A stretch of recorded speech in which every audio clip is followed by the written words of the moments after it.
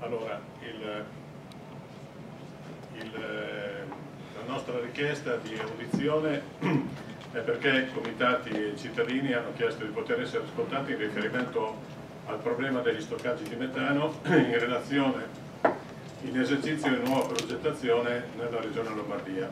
Siamo qui a chiedervi precise risposte in merito alla sicurezza per i cittadini lombardi, è un nostro diritto ed anche un vostro interesse e dovere di consiglieri regionali e dare risposte certe, dare risposte certe alle nostre richieste. Okay. Allora, cominciamo da una delle questioni eh, importanti che riguarda la, la i piani di emergenza esterna poiché eh, gli stoccaggi di metano sono considerati dal 2009 attività a rischio di incidenti rilevanti soggetti alla direttiva Seveso 334 del 1999 e dalla necessità di piani di emergenza esterna. allora, eh, come mai ci chiediamo e vi chiediamo, gli impianti di Brugherio, Settala, Cerniano, Ripalta Cremasca sono attivi senza piani di emergenza esterna? C'è un esempio anomalo perché Bordolano ha il piano di emergenza esterna solo dal giugno 2013 per il solo cluster B in funzione dal luglio 2010, mentre mancano i piani di emergenza esterna per il cluster A, la costruenda centrale di stoccaggio e non li prevede nemmeno il PGT approvato dal Comune di Bordolano nel maggio 2013. Perché nel PGT di Bordolano mancano le indicazioni dalle tubazioni che circondano il paese e collegano rete SNAM cluster A, cluster B e centrali di stoccaggio. Questa è una lettera del UNMIC di Bologna eh, che dice eh, in data eh, 15 maggio 2012 che si sta iniettando metano nel sottosuolo e nel cluster B in particolare però si inietta metano senza, eh, sono strutture nuove, i, i motocompressori del cluster B senza valutazione di impatto ambientale questo è il, un dettaglio e questo è il gas immesso in giacimento è prelevato da un metanodotto SNAM a bassa pressione, il gas viene iniettato con una pressione dinamica eh, testa e pozzi di 148 bar. 15 maggio 2012 il, il, questo cluster è in funzione dal luglio 2010 senza piano di emergenza esterna. Questo è il piano, il, il cerchio blu è praticamente il piano di emergenza esterna per il solo cluster B eh, redatto dalla prefettura di Cremona nel giugno 2013, tre anni dopo l'entrata in funzione del, del, cluster, del cluster, B. E I cerchi rossi che vedete sono eh, quelli che mancano riferiti al cluster A e alla centrale la cosa che lascia qualche perplessità è che il cerchio blu arriva a sfiorare il paese, i cerchi rossi coinvolgerebbero tutto il comune di Bordolano e questo ci fa venire in dubbio sulla eh, effettiva volontà di fare i piani di emergenza esterna se dovessero eh, intaccare i centri abitati. Eh, qui eh, questa documentazione è, eh, sono gli elementi di, per la pianificazione delle emergenze esterne fornite dalla società Stogit nel gennaio 2010 per quanto riguarda Serniano. Vedete le zone rosse che sono eh, a elevata probabilità di letalità per persone sane non adeguatamente protette. La zona verde, danni gravi e irreversibili per persone sane non protette o maggiormente vulnerabili quindi si tratta, il metano è ovviamente un gas infiammabile, è, è estremamente letale, altamente letale. E questo è un dettaglio dalla pianificazione che avete visto prima. Eh, sulla destra vedete il, il, sulla sinistra il cluster D e eh, nella zona rossa è compreso il campo di calcio nel quale viene effettuato regolarmente da anni il campionato di calcio di, eh, di terza categoria della FIGC gli spettatori pagano il biglietto d'entrata ma non sono sicuri di poter uscire. Brugherio Stoccaggio, questa è eh, la realtà, in, in, realtà si chiama Brugherio Stoccaggio, la località dove, è, dove trovate queste in, eh, infrastrutture è Cinisello Balsamo, via Sordello da Mantova, sono eh, dati dalla Stogi. Eh, nella, la striscia nera che vedete tra eh, il contorno rosso è la tangenziale, est, tangenziale nord di Milano, la A52. Sotto la tangenziale ci sono le tubazioni che collegano la parte eh, sud e la parte nord del, dello stoccaggio di metano. Ovviamente tutto senza piani di emergenza esterna. Ecco, allora noi ci chiediamo eh, di conoscere qual è la posizione attuale per la questione dei piani di emergenza esterni che mancano, della Regione, del CTR, delle prefetture e quali altri impianti in direttiva Seveso in Lombardia funzionano da 4 anni senza piani di emergenza esterna. Saremmo curiosi di andarli a conoscere. Valutazione per quanto riguarda eh, l'attualità di Bordonano Stoccaggio. Bordonano Stoccaggio è attualmente uno stoccaggio o no? Perché ci facciamo questa domanda e perché vi poniamo questa domanda? Perché ci sono tre, eh, ele tre elementi che eh, sono contraddittori tra di loro. Il primo è la DGR, DRG informativa terzi del 20 marzo 2013 1568, il provvedimento direttoriale 18804 del Ministero dell'Ambiente dell'8 agosto scorso, il decreto del eh, Ministero dell'Ambiente 14583 del 16 maggio 2014, cioè di qualche giorno fa. Che cosa dice la, eh, direttiva, eh, la delibera della giunta regionale? Dice che eh, Bordolano è uno stoccaggio attivo. Il eh, provvedimento 18804 dice che eh, nelle prescrizioni si dovrà fare una rete di monitoraggio sismico per perché per la durata di almeno un anno consecutivo prima dell'entrata dell in esercizio dell'impianto dovranno essere fatte delle verifiche le condizioni di microsismicità locale ante opera, un anno prima dell'entrata in funzione. Poi il 14583 del 16 maggio scorso dice ancora, ribadisce che i nuovi progetti dovranno avere un monitoraggio sismico di una durata di almeno un anno prima dell'avvio dell'attività prima dell'avvio dell'attività. Allora, come sarebbe possibile, ci chiediamo, monitorare almeno un anno prima se lo stoccaggio è già attivo? Quindi noi chiediamo eh, questo chiarimento alla Commissione e alla Regione. Qui vedete eh, il cartellone che dice che eh, a Bordolano stanno, sta lavorando la Max Striker per costruire la nuova centrale e queste sono le, eh, le gru eh, della, della costruzione della nuova centrale di Bordolano. Quindi non è attivo ma c'è la centrale che sta per essere costruita. Panoramica sulla sismicità naturale. Quelle che vedete sono le sorgenti sismogeniche naturali che sono presenti nel sottosuolo lombardo a diverse profondità tra i 1000 e i 2000 metri. Questo è il, eh, i cerchi rossi che vedete, sono i raggi di 10 km direttiva 18804 per Bordolano e direttiva del Ministero dell'Ambiente 532 del 15 ottobre 2012 per quanto riguarda Serniano, il raggio di 10 km vuol dire che eh, eh, tutto questo territorio è coinvolto nel rischio sismico provocato dalle attività eh, di, di stoccaggio di metano. I cerchi che vedete coinvolgono 116 comuni lombardi e oltre un milione di persone che sono praticamente eh, all'oscuro di quello che sta succedendo. E ovviamente quello che vedete, eh, gli stoccaggi di metano sono praticamente tutti sopra le sorgenti sismogeniche ad eccezione di Brugherio e di Cornegliano Laudense, ma a Cornegliano Laudense si è verificato un terremoto nel 1951 causato dalla estrazione di metano. Quello che vedete è il serbatoio del cluster del stoccaggio di Bordolano, le righette gialle che vedete sono i nuovi pozzi perforati e eh, scendono tra i 1600 e i 1900 eh, metri.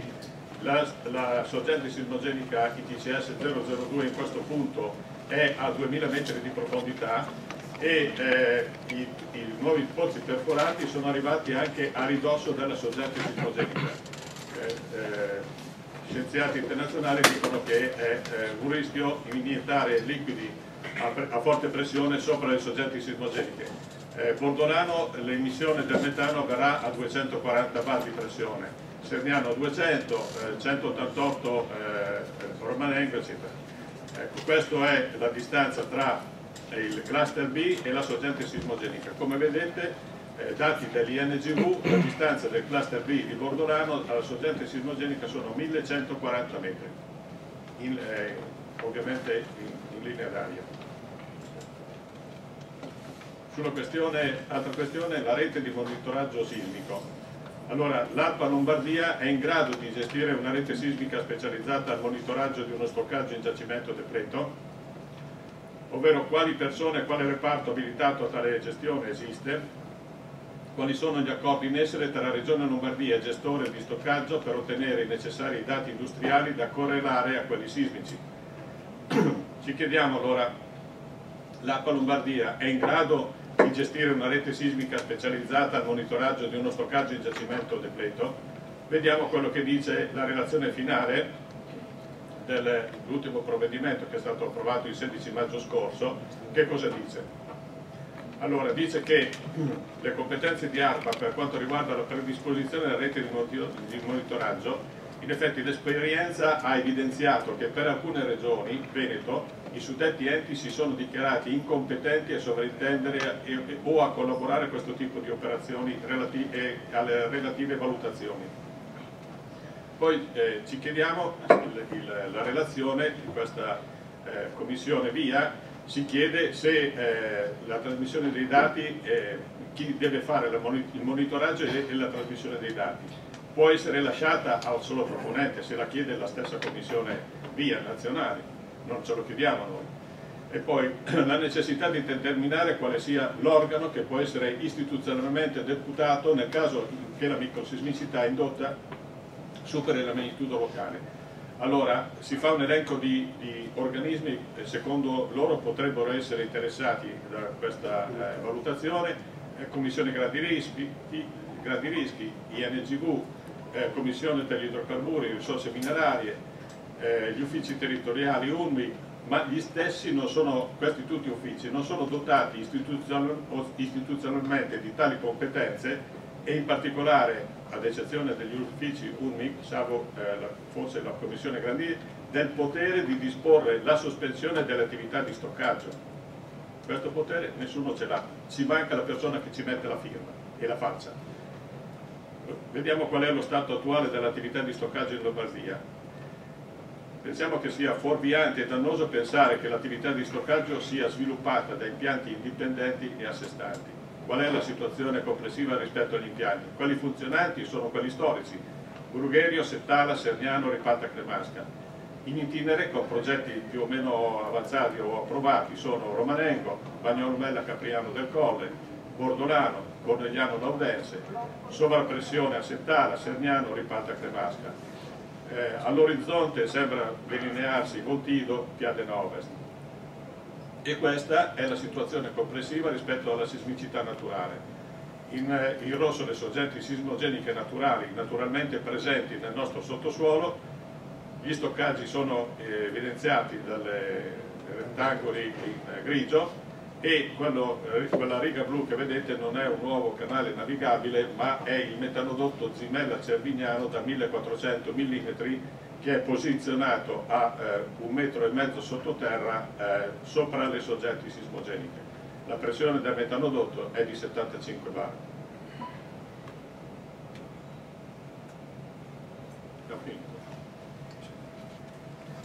E questa è eh, l'esposizione che abbiamo fatto, la documentazione che eh, mettiamo anche a disposizione dalla Commissione. In Olanda, per legge, questi impianti devono essere costruiti a 100 km dalle faglie sismogeniche naturali. In Italia no. Grazie. Grazie a lei. Se vi sono altre richieste, prego. Un attimo volevo, fare una considerazione di carattere generale, cioè eh, volevo far notare che eh, noi siamo tutti privati, persone private, che, volontari, che sono qui stamattina eh, compiendo alcuni sacrifici, togliendo tempo al nostro lavoro, non abbiamo alle spalle nessuna organizzazione di profitto o politica che ci spinga a fare questo, quindi queste motivazioni le do per fare in modo che sia chiaro qual è il nostro intento e per soprattutto siglare il fatto che le cose che diciamo le diciamo perché ci crediamo, le abbiamo maturate a costo di sforzi personali e quindi volevo far presente questa cosa. Penso che per una commissione come la vostra sia molto interessante sentire un parere visto in questo modo. Ecco, questo lo volevo dire, insomma. Grazie.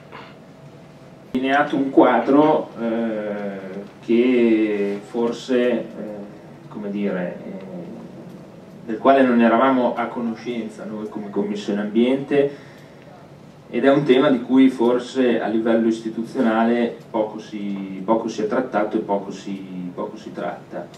Credo che, eh, adesso anche guardando quest'ultima eh, diapositiva, sia interessante e eh, che la Commissione si debba eh, tutta interessare della cosa e porre eh, forte attenzione a questo argomento eh, perché, come si vede, sono implicate numerose questioni. Si parla di sorgenti sismogen sismogeniche in grado di generare sismi, si parla di stoccaggi, si parla di metanodotti, si parla di piani di emergenza esterna che a quanto detto non sono, non sono stati elaborati, seppure eh, la legislazione lo, lo prevede, si parla di eh, ARPA che non sarebbe in grado, comunque secondo quello che è scritto nelle documentazioni di altre esperienze in altre regioni, di istituire una rete microsismica eh, di monitoraggio microsismico eh, valido per monitorare la, la, la situazione e tutto questo si inquadra in un'ottica un di impatto cumulativo, perché ovviamente questi stoccaggi, per chi conosce eh, insomma, la geografia della, della, regione Lombardia, sono veramente eh, molto vicini gli uni, eh, gli uni, con gli altri.